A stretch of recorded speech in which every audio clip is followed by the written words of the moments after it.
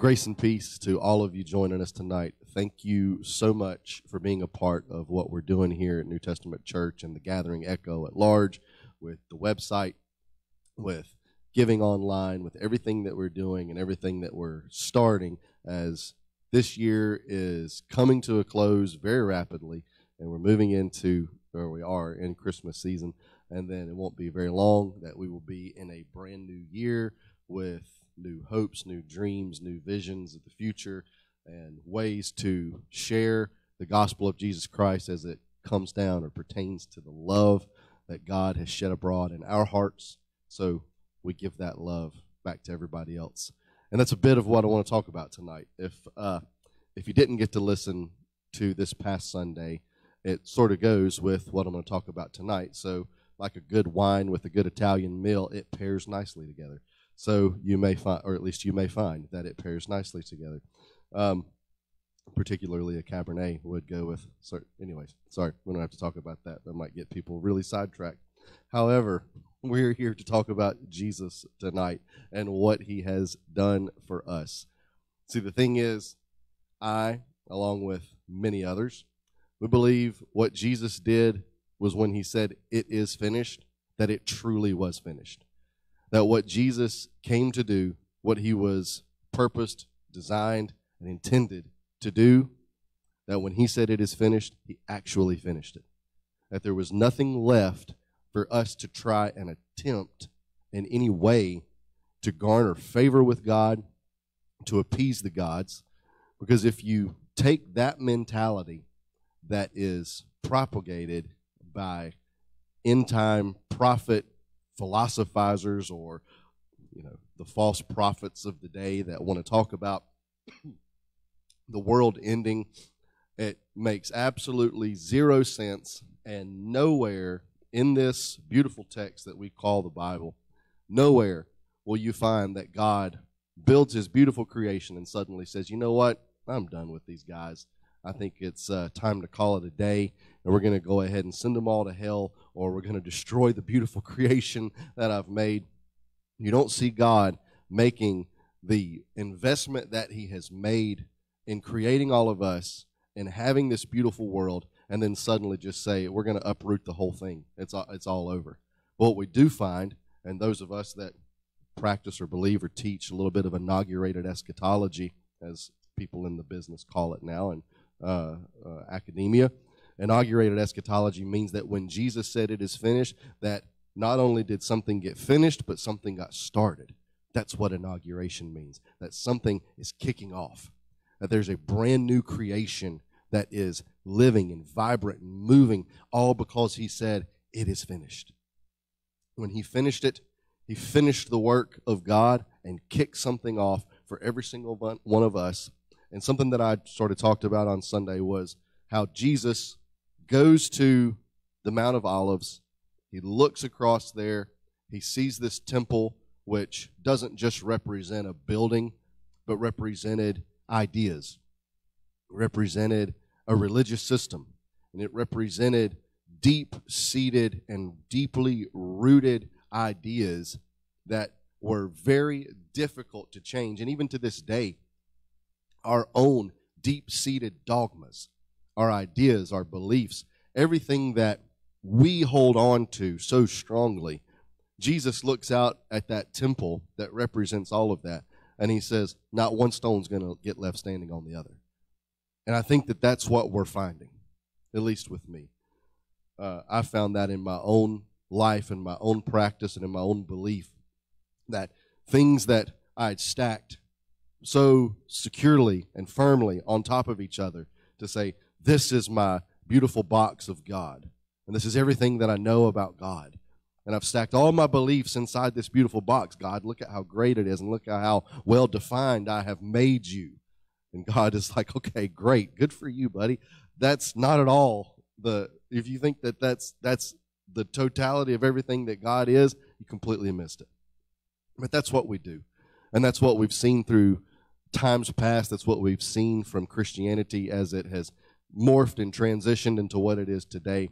And I'll talk to you a little bit about that. But uh, first, let me read a little bit of this to you. Um, in keeping with the same theme that I've just kind of uh, laid out here about what Jesus was saying and how the temple represented the dogmas and the doctrines that would attempt to separate us from God, or at least say that we have separation from God. You find that a lot of these early church writers, a lot of the early church philosophers and teachers and theologians thought very differently than that. One of them being Clement of Alexandria, who said this. Like I said, he's one of the very earliest Bible scholars from around the year 170 AD.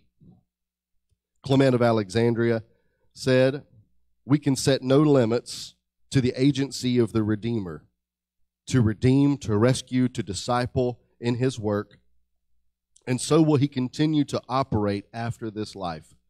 All men are his. For either the Lord does not care for all men, or he does care for all. For he is Savior, not of some, and for others not.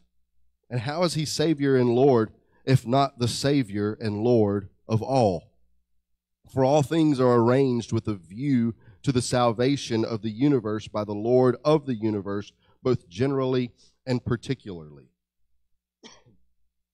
See, we take our strongly held beliefs and we try to find ways in which that it excludes people or it leaves people out.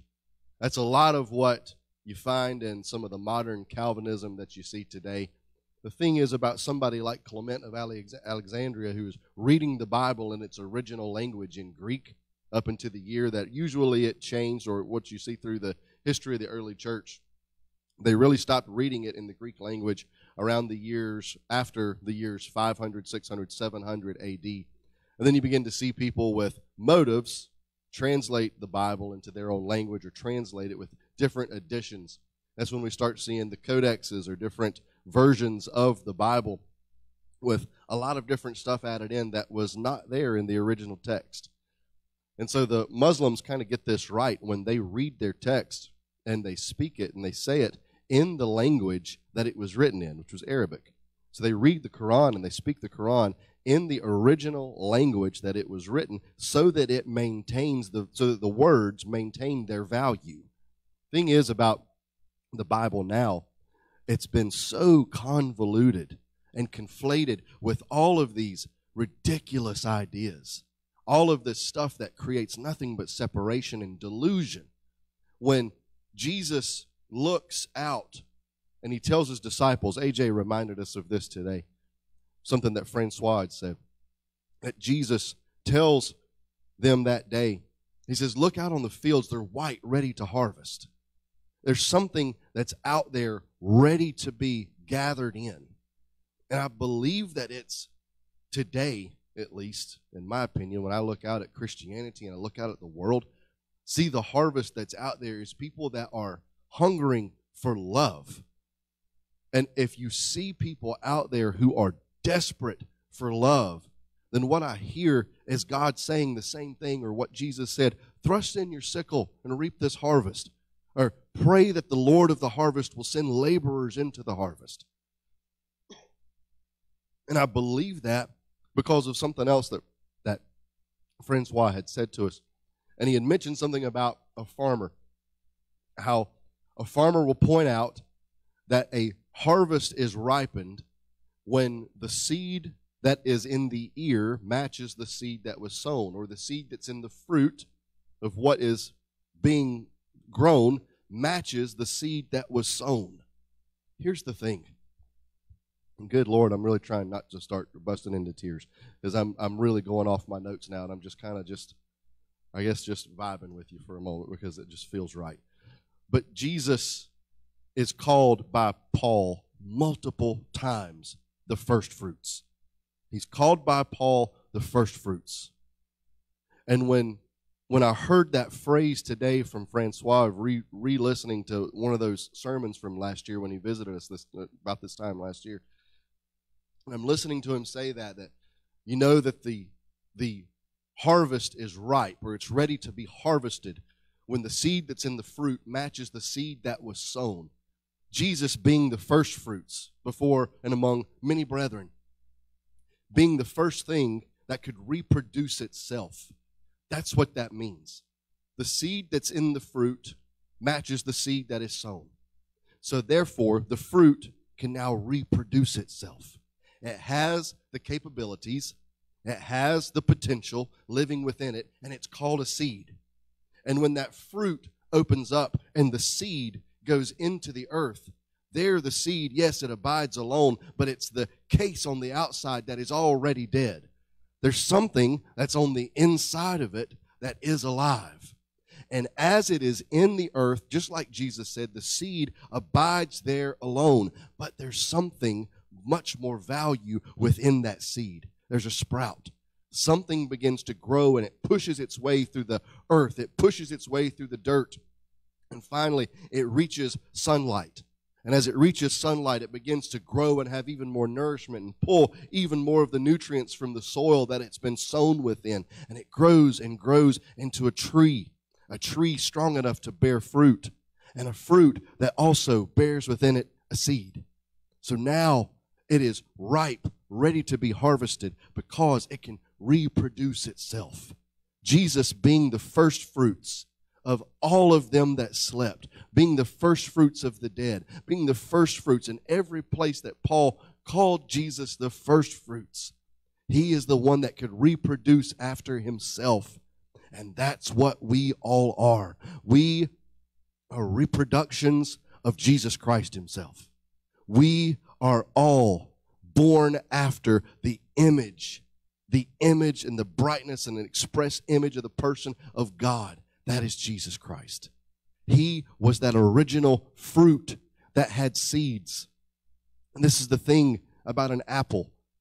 You can count how many seeds are in an apple, but you'll never be able to count how many trees are within the seeds. You'll never be able to count the amount of apples that will be able to grow from one seed planted that, that would sprout into a tree, and that tree produces even more apples. You'll never be able to count or quantify the, the the worlds that are there within in just an apple with all of its seeds.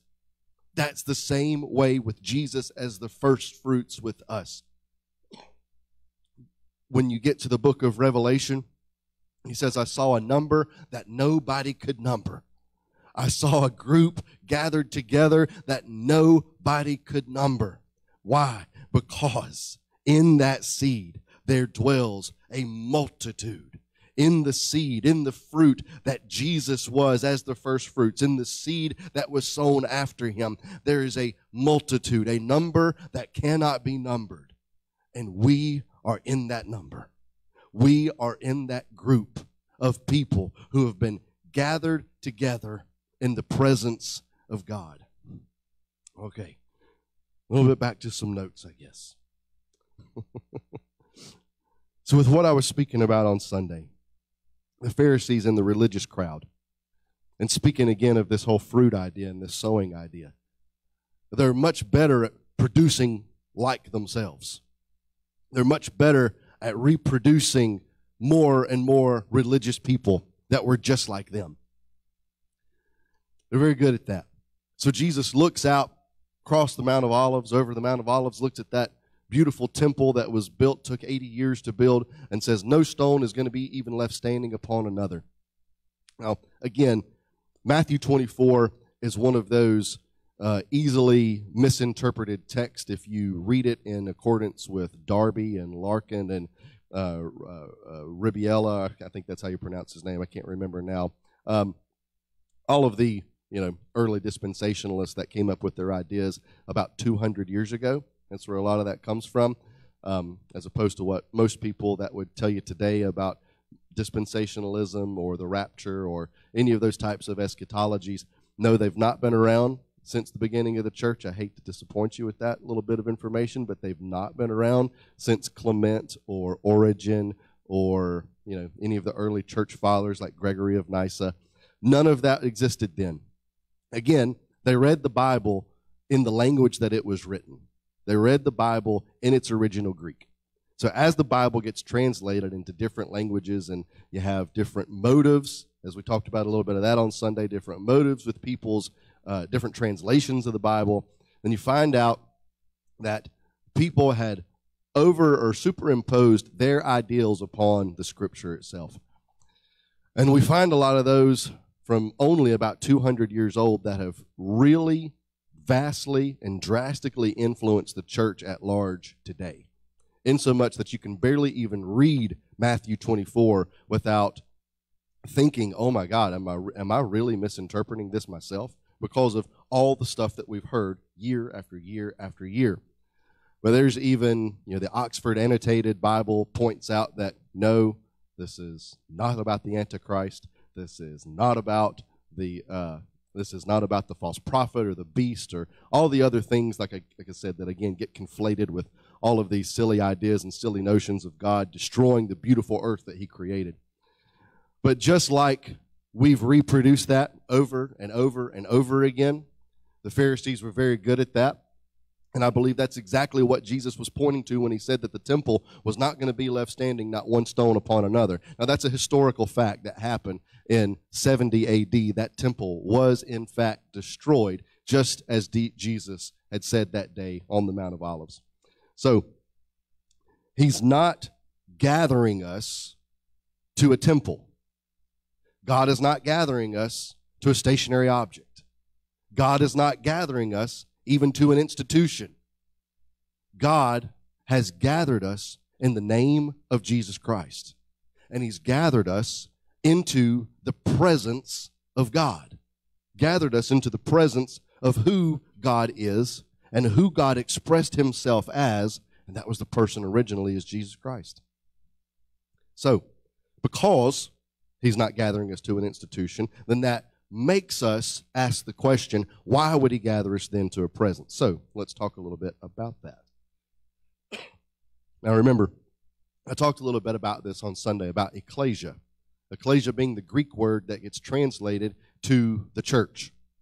And again, that word church itself has gotten religitized a bit. That was something that I uh, came up with on Sunday. I don't know. I, don't, I, really don't think that that's a real word. I sort of just said it on Sunday, but it's a, one of those words that just get. Uh, well, you know, it's it, the church has been the the word church at least has been religitized in such a way that it's lost. I think its actual truest meaning from what the Greek language actually said, which it was ecclesia, which we talked about Sunday.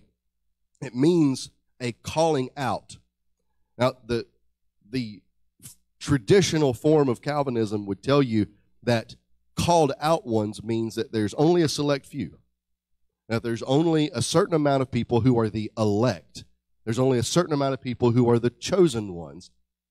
Those are the called out group of people. And that doesn't include everybody. Now, I think that's a silly notion, especially if you read Matthew 16, which is one of the very first places where Jesus points out that on this rock I will build my church and the gates of Hades shall not prevail against it. So Jesus is making it clear that his church or his called out people, and that again, it doesn't mean that, let's say that there's five people here and I'm going to call out person number one and person number three. The rest of you can go to hell. That's not what that means. That's not what it means to be called out the word exactly yeah phew aren't you glad? Jeff's glad that he's you know he's probably a person number two. So he's glad that all five people are included in that calling out. And that's the truth. That is the absolute truth because that's what the word ecclesia meant. It was a common word or phrase that they knew when the call has gone out by either a council or a legislator or a king or you name it, that means everybody come out of your house. Everybody gather to the town square because there's something, there's a message, or there's something that's going to be said that you are all a part of and you should all come and hear. That's what it meant to be called, or that's what the word ecclesia meant.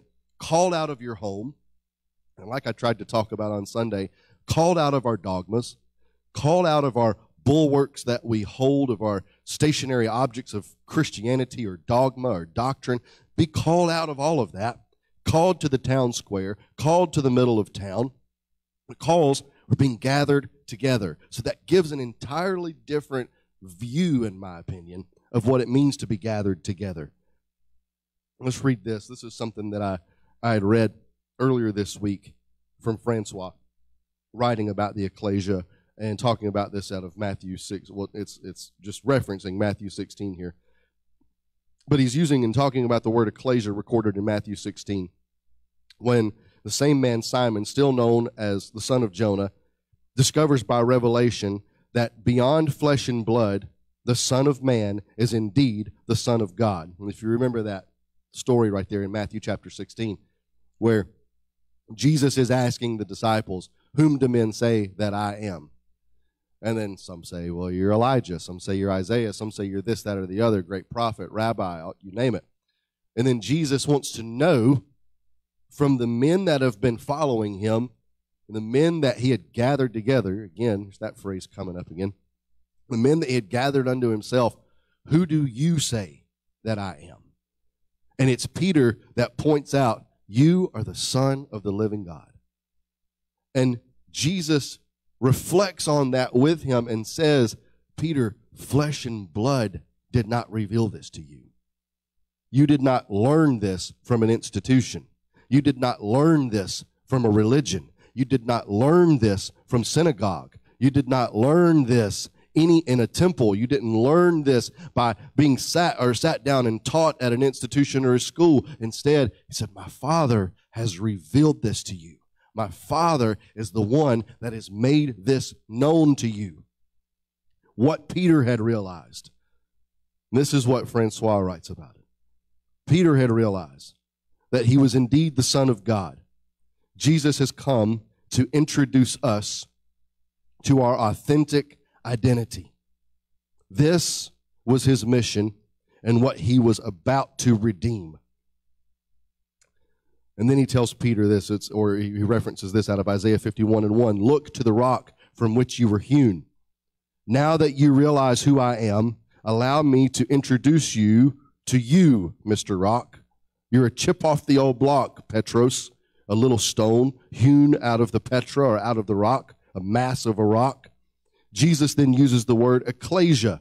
And this is the way that he begins to translate the word ecclesia. Ek, being source or out of, and kaleo, which is to surname, literally meaning sourced or sourced in a name. So your authentic identity. So when he references that day, that flesh and blood had not revealed this to Peter, and upon this rock I will build my church, and the gates of hell will not prevail against it. For one, what Francois is pointing out in his translation, it's the calling out of the name. Called out and called out of, which technically would really be called into a name. And what is the name by which we've all been called and the name to which we've all been gathered? It is the name of Jesus. Jesus is the name that defines God. Jesus is the name that gives vision to the invisible God. At least that's the way John chapter 1 defines it. That Jesus is the one who has been declaring the Father all along. That by him all things consist. Without him was not anything made that was made. He is the one who is all in all. I hope that's enough Pauline scriptures for you to help give you some picture as to who Jesus is, what Jesus was representing, which was the fullness of God, the pleroma.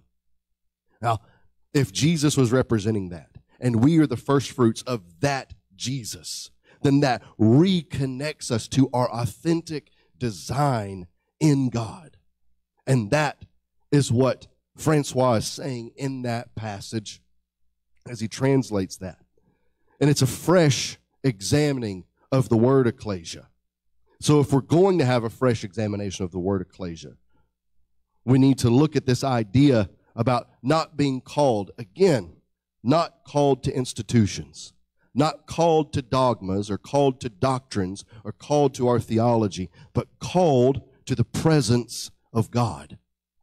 That is the thing by which we will be able to see all men clearly. So Sunday, I sort of started doing a little bit of maybe the dirty work of tearing down some sacred cows that would have surrounded Matthew 24, that's considered or called the Olivet Discourse. Again, it's uh, a series of passages that get really mixed up and really messed up when it comes to uh, so called end time prophecy. And it adds a lot of confusion for people. And maybe you're some of those folks, and maybe you're not. Maybe you you're approaching this and you're hearing this and you're like, man, this guy has no idea what he's talking about. But just bear with me and let's all maybe approach it the same way that I try to approach everything. What if I'm wrong? Um, so that's what I did years ago. I approached my deeply seated beliefs about eschatology, and instead of saying, I know it, I know it, I know it, I approached it by saying, well, what if I'm wrong? What if I'm wrong about all this? Come to find out, I was. And I found what I believe is a more hopeful way. Found what I believe is a way that expresses the inclusion of God, that expresses the work of Christ, and how universal the work of Christ was, and how wonderful it was. Hence the song that we would sing, the wonder working power of the blood of Jesus Christ. I truly do believe in it. I truly do believe that what Jesus did was so powerful, so wonderful, and so great that there's not one person on this earth that it could not have included. So if you wanted me to go back and read that passage again from Clement of Alexandria, who said that he's, he's either the Savior of all or he's not. And that's up to us to decide, I think. It's up for you to decide at least how you're going to live when it comes to that right there. But as I went through a little bit of the Olivet Discourse in Matthew 24, you end up at, at the end of it, which is the culmination of it all in Matthew 25, which to me, and when you read it, and I think that anybody that's able to read it is able to see this is not an end time prophecy. This is an, if you want to call it an end time prophecy, if anything that it's an end of, it is the end of the religion and the religious ideals that keep us separated. And it is, a, it is the end to the religious blindness that keeps us from seeing what Jesus said the hungry, the thirsty, the naked, the sick, the stranger, and the prisoner. Those six categories. And at the end of that passage, it says, Well, when did we see you hungry, thirsty, naked, prisoner, stranger, or sick? When did we see you in any of those conditions? And he said, Well, when you did it to the least of these, you've done it to me. And when you've not done it to the least of these, You've not done it unto me. You've ignored me when I was hungry and thirsty and sick and naked. You, you've ignored the actual person of Christ. And if anything that's being said from Matthew 24 to Matthew 25, it is that. It is the end of the religious blindness that makes you turn a blind eye to the man laying on the side of the road. But here is a Samaritan that sees somebody who's been damaged, beaten, and broken, and they're able to realize what AJ was telling us through his song on Sunday that I'm near the broken hearted. I'm near those that are crushed. How is he near those that are crushed? He sends you. He sends me and he sends you out into the world to be near the brokenhearted. Instead, in that story, you have the religious guys see the man broken on the side of the road that crossed to the other side, completely ignore him. But here's somebody who has been ignored. Here's somebody who has been the outcast. Here's somebody who has been the half breed, kicked out of the kingdom, and this Samaritan man can find no other better use of his time, his money, and his energy than to take this man who has been beaten and broken, place him on his own animal, and give him comfort and give him solace and pour oil into his wounds. Man, what a way to live your life. What a calling. What a purpose to see people that way. So if there is a sacred cow that's busted up out of Matthew 24. It is the religious ideas that keep us separated and keep us from gathering together into the presence of God. Keep us from gathering in His name. While we're there, you might as well go ahead and knock out the sacred passage of 1 Thessalonians chapter 4, which goes along with that, in my opinion. Again, another one of those passages that gets completely misconstrued. Namely, verse 17. It's commonly translated in English phrases, caught up to meet the Lord in the air. And what's interesting about that, again, now keep in mind the idea of gathering together. A first century reader of the Greek, and especially somebody in Thessalonica. Now, think about this for one, Let's, before I get too far ahead of myself. Maybe give you a little bit of backstory about the church in Thessalonica. That church was started in a very popular town that eventually became the capital city there. And ultimately, it was a melting pot of multiple cultures, and Christianity was the small little sliver of all of that that was on the rise. As it began to gain popularity, there are people from the Jewish sector of town that knew Paul and knew that he was someone that uh, had persecuted Christians for one, who had killed people. They wanted to take up that same infidel mentality and kill people because they were saying that Jesus was the Messiah. They had aligned themselves, much like they did when Jesus was alive. They aligned themselves with local Roman governors, local Roman government. So then it was not only persecution from another religious side of town, but persecution from the government itself. So here are these people in Thessalonica who are hearing, for one, all of these messages from Paul. And it takes Paul confirming them and saying, don't lose hope. If anything, encourage one another with these words. That's the way that the story really ends there. Encourage one another. Because you've had during that time all of these, because Thessalonica was a, was a melting pot, it had multiple religions and multiple religious ideas about, you know, what happens to you when you die. And for them, they were thinking, well, you know, what do we do? Do we mix in all of these ideas together? Do we make a kind of an amalgamation of our belief with their belief? And now we're just one big melting pot of belief as well. And Paul's trying to help them understand that no, that, that's not quite what it's about. Just maybe maybe don't do that. Maybe don't try to mix your beliefs with everybody else. That's might maybe not a great policy uh, because you're going to find some some contradictions there. So Paul tries to get into those contradictions, and he starts saying, you know, because people were saying that the day of the Lord has already come, the day of the Lord had already arrived, and you guys missed it. You've been left behind, as you might say in modern language today, from some of the popular novels, fiction novels, mind you. Uh, make make sure we point that out that it is fiction. but Paul is making it clear to them: no, you didn't miss the day of the Lord. You didn't miss it at all. But what he talks about in Second Thessalonians 2, he talks about being gathered in the presence.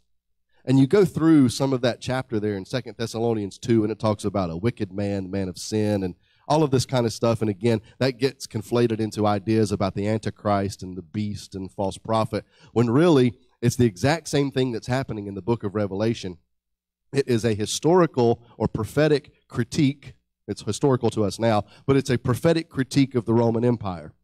You find that through Paul's writing, and you find that all through the writing of the book of Revelation. Now, we don't have, you know, I've, I've got maybe another 25 minutes left to talk to you, so I don't have another hour, two hours. Well, actually, that would take way longer than a few hours to go through the book of Revelation and go through all of the signs and symbols of Matthew 24, 1 Thessalonians 4, and 2 Thessalonians 2. But we can at least talk about what I think is actually being said there. Again, with that background of sort of knowing the persecution of the Thessalonican church and how difficult it was for them to be Christians, and reading Paul's letters for the first time and trying to have a little glimpse of hope in the middle of all of their difficulty. They would find these verses here, especially that one in 1 Thessalonians 4 and 17. When we read that, especially in the King James language, we read it and see that it looks like we're floating up into the air, you're floating up into the sky and meeting the Lord somewhere ethereal or somewhere not even based in this air that we breathe. I can assure you that there is not one early Greek reader of that language that would have had that idea. And I can assure you of that because every single philosopher and Christian uh, uh, Christian teacher after that never had that idea up until about 200 years ago uh, by for one, you've got, well, again, like I said, we don't have time to get into all of that detail, but just trust me on that. Or unless you want to talk to me later, you can send me some messages and I can send you some information. And maybe we can even have a special session where we go through a lot of that and maybe a special teaching where we can go through some of that history.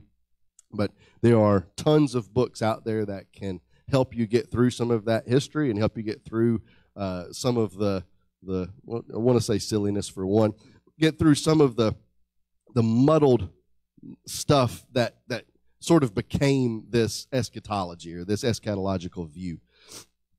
Now, when you would have read that as a first century Christian in Thessalonica, you would not have gotten that idea floating away. Instead, because the Greek language actually says it's harpazo, hamasun, autos, uh, en nepheli, ace, ho, kurios, which is the word for Lord, ice, air, so in the air. So caught up to meet the Lord in the air. That's, that's what that translates to.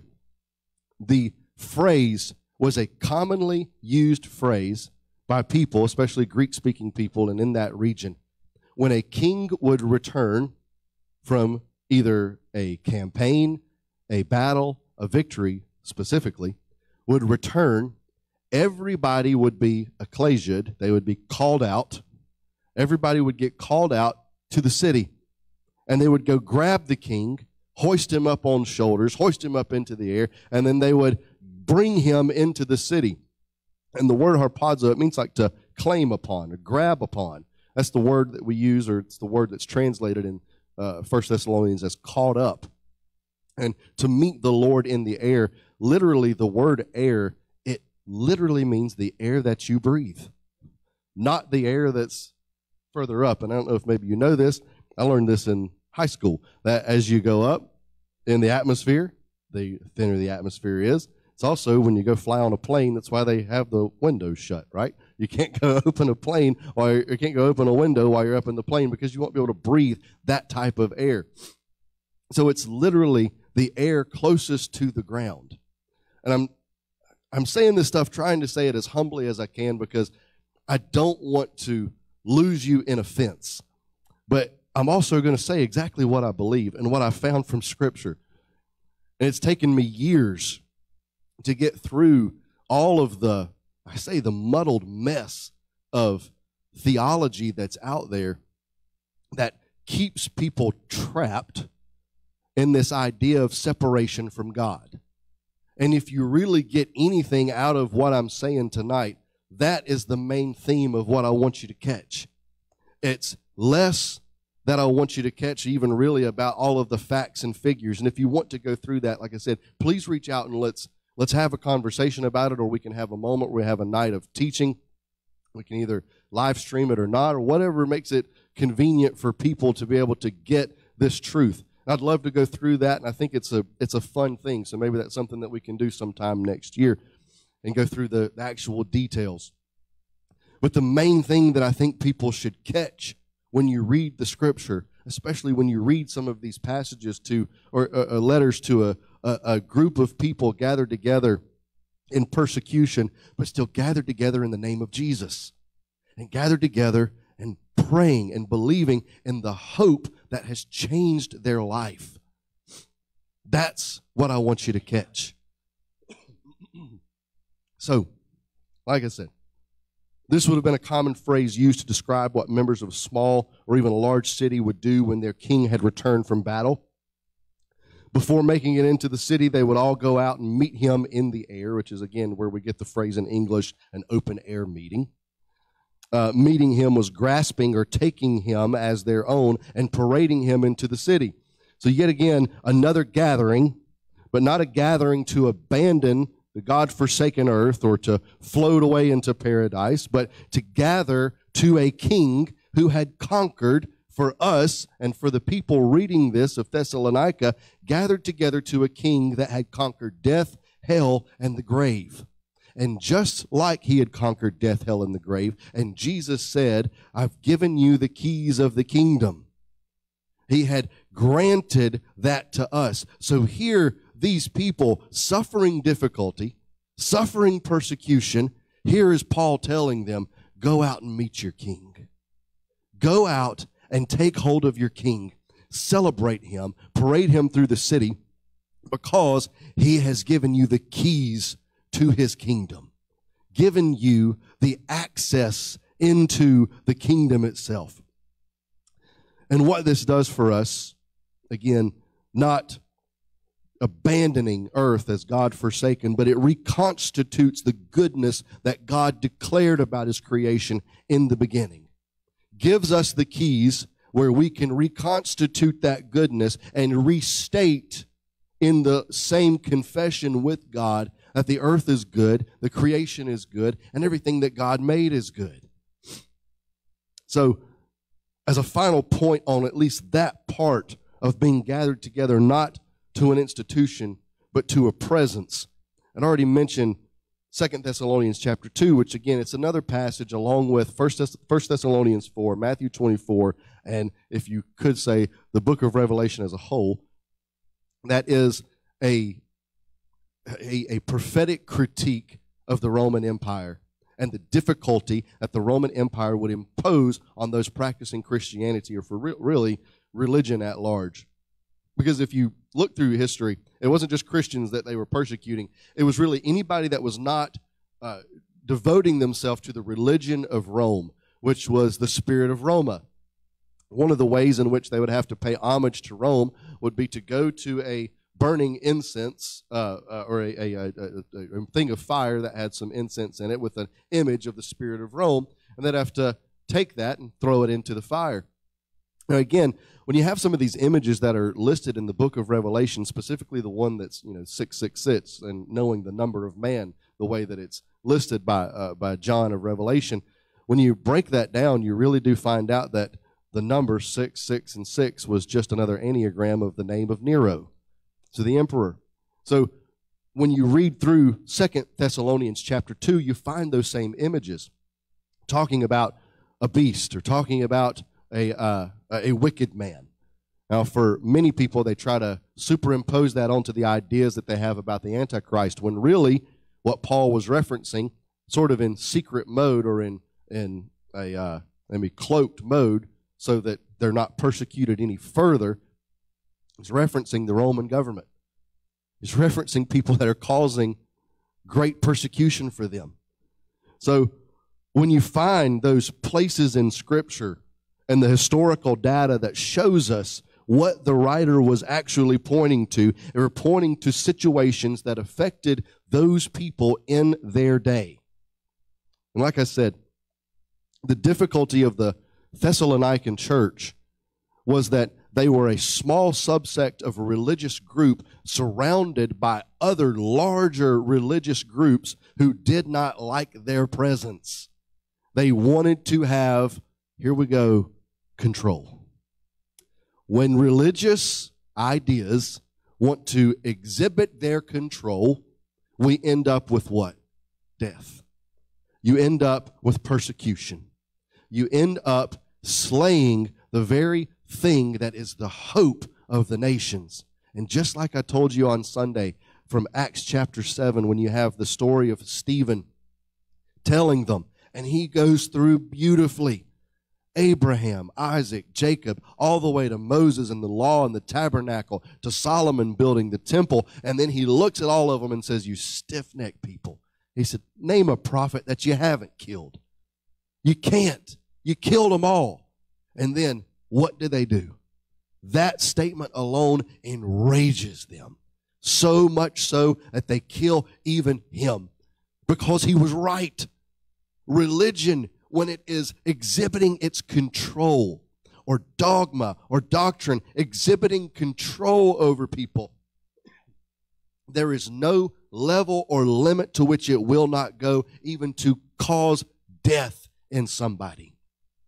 Uh, one of the only places where death did not occur was when Jesus takes the woman who's caught in the act of adultery and he points to them again any of you who have not sinned, and most of them possibly, probably, had already committed the exact same sin for which they were accusing this woman and ready to stone her and ready to kill her. Anybody who had committed a sin, who's not committed a sin, go for it. You've got full range. Throw the first stone. and the finger of God touches earth. The finger of God, as Jesus kneels down, stoops down, writes in the earth.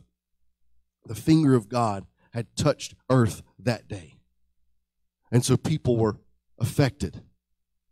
This is what happens people try to exhibit religious control. Again, it creates death. But this is the way that Jesus had shown us. And this is the way that Paul was attempting when he wrote his letters to these churches to give them some form of hope in the middle of all of this prophetic difficulty from at least the prophetic critique that they were giving of the empire or the people who were exhibiting, again, power over them. The important thing that he was trying to get them to focus on is the gathering to the presence. And the way that it's, it's translated, at least in the English Bible, it's translated as the coming of the Lord. But really, the word is parousia.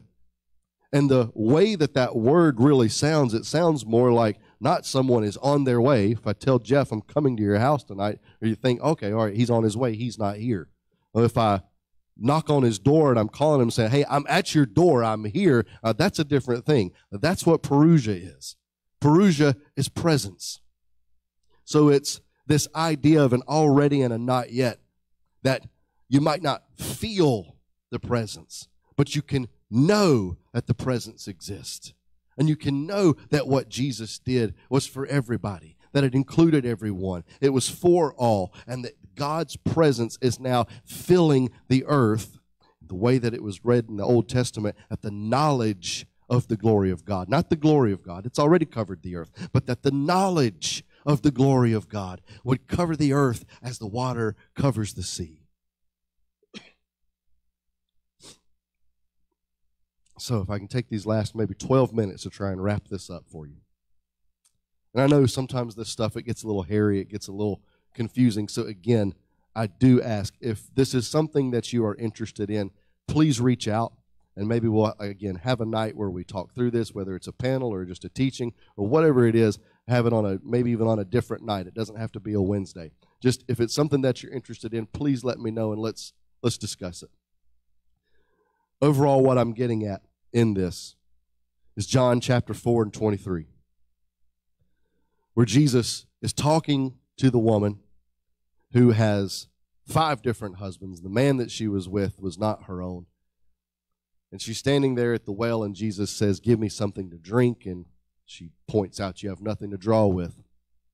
This Samaritan woman, this rejected woman, mind you, the fact that she had five husbands was not the fact that she was a uh, a hoe or anything like that, as many people try to point out. More than likely, if you were a female and you had five different husbands, that means you've been put away and rejected by five different men. So it was not her fault, as she gets wrongfully blamed many times, as we do many women in our culture, especially in purity culture. We blame women for everything when really it's probably the problem is the man. It's okay with me saying that. I'm a problem. sometimes I'm a problem. I think we should all be okay with saying sometimes we're the problem.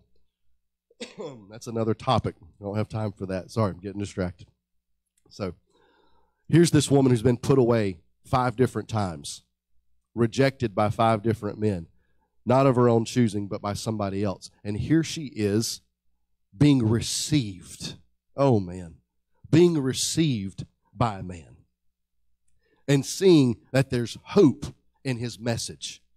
And he asks for water. She says, You have nothing to draw with. The well is deep. And he says, If you knew who I was, you'd be asking me for something to drink, and it was something that I'll give you, and you'll never thirst again. It amazes her, it catches her off guard. And then she starts talking about what do we usually do? Now, this is so interesting to me in this story. What do we do so many times when we, in a very pure way, meet the kindness of Jesus, we bring up our religious practices. We say, just like she did, well, you know, got to worship in this mountain or that mountain. And, you know, some, got to, for us, we, we didn't get to worship in Jerusalem. So, you know, we gotta we gotta worship in Gerizim, and you know, we got Gerizim and Ebal and all that kind of stuff. So you start bringing up the religious practices. That's what we do so many times. Well meaning though, well meaning. This is the way that I came to Jesus, or this is the way that I discovered God. And we start going through all of that stuff there. And this is what Jesus has to say about it. John 4 23, but the hour is coming and is now here when the true worshipers will worship the Father in spirit and truth, for the Father seeks such as these to worship him. For God is spirit, and those who worship him worship him in spirit and in truth.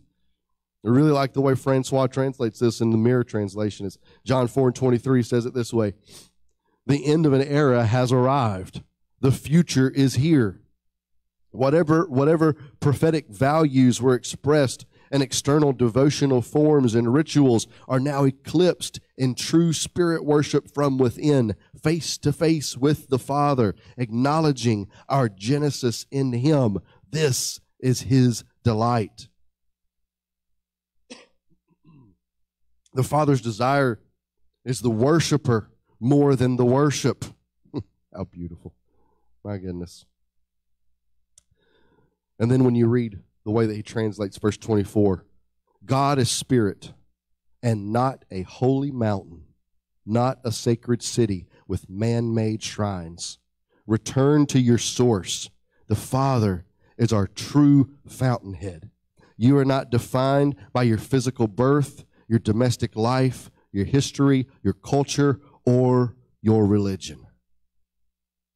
So when we look at all of the places that we've set up as our divine place of worship. God is like, hey, thank you so much for that. But that's not what I was interested in.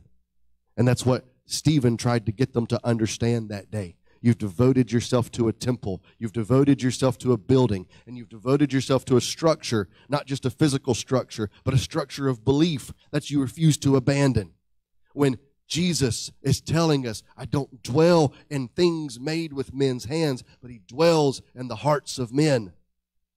That's what Jesus is telling this woman. You'll neither go to this mountain or that mountain. You won't have to worry about Ebal or Gerizim or Jerusalem or Mount Zion. You won't have to worry about a location. All you have to worry about, actually, you have nothing at all to worry about. It's just that God wants you and that God has chosen you and that God loves you.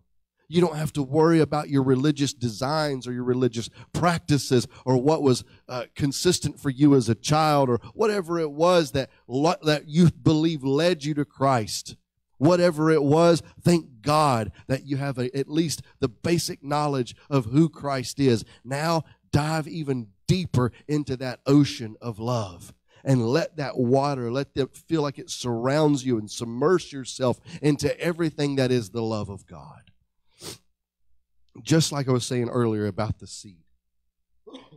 Excuse me. The harvest is ripe, and the harvest is ripest when the seed in the ear matches the seed that was sown. So, we, again, being the recipients of who Jesus was, the first fruits among many brethren, that we were all made partakers of his suffering all made partakers of his death, all made partakers of his resurrection. Now, when he died, we died. When he rose, we rose. Now, these are not ideas that Brent came up with. These are ideas that Paul came up with. These are ideas that Athanasius, Clement of Alexandria, and Gregory of Nyssa, these, these early church writers, uh, Maximus the Confessor, that these are writings that they said knowing their own connectedness to God in believing what Jesus prayed in John chapter 17, where he said, I pray that you make them one as we are one. See, they were crazy enough to believe it. What I want you to be is just as crazy. Whether that makes sense to you or not, I want you to be just as crazy to believe that you are one with God. And for the Thessalonican church, for them, it was in the middle of their persecution for Jesus on the Mount of Olives. It was for them knowing that there were wars that were coming, that there was difficulty that was coming, and that Tiberius would eventually destroy the temple that they held sacred and held so dear. But even Peter would have to admit that his religious background and everything that he had been taught was really holding him back from seeing Jesus within somebody else. He almost did not go to the house of Cornelius. It took God showing him a vision three times for him to, and, and, then somebody coming to his door to take him to the house of Cornelius to go and preach Jesus to the Gentiles. There he goes and does it. You also have this, and I think it's Acts chapter 17, where you have really the first Christian council, where you've got all the religious leaders now, all the Christian leaders have gotten themselves together, and they're going to say, All right, well, what do we do about the Gentiles? Do we include them or not? They had to have a meeting about that. I think that's silly. That's in our Bible. But they had to have a meeting about whether to include the Gentiles in Christianity. Now, one of the things, obviously, that they were discussing was the religious practices that were being imposed upon the, the Gentile Christians, trying to match them up to the Jewish practices and the Jewish ways of doing things. Now, at least they came to a consensus there to say that all of our religious acts, they're not going to help us. They're not going to add us add any value to these brand new Gentile Christians who are not accustomed to you know things like circumcision and things like that that are kind of difficult for people to get a hold of. I think though, whenever we try to impose again, impose our religious practices, impose doctrine in some way that creates control instead of the vast openness that is God, you end up with something that's a lot more convoluted and a lot more difficult. And what it does, I think it takes the, the burden and instead it puts it on us as a bearer of additional burdens that are unnecessary. Things that don't equate to life, things that don't equate to true godliness or godlikeness. And I think in referencing that the harvest is ripe. It's ready to be harvested. It's ready for people to go out and love people.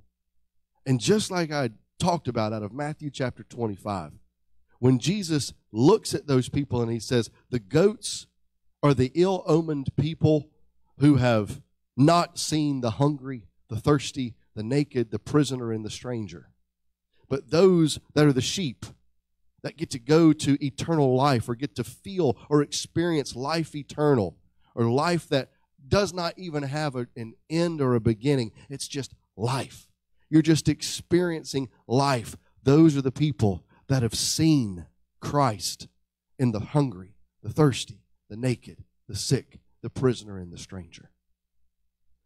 And sometimes that goes against some of our deeply held religious ideas about people whether they're accepted or not as they are, whether they're accepted for who they are.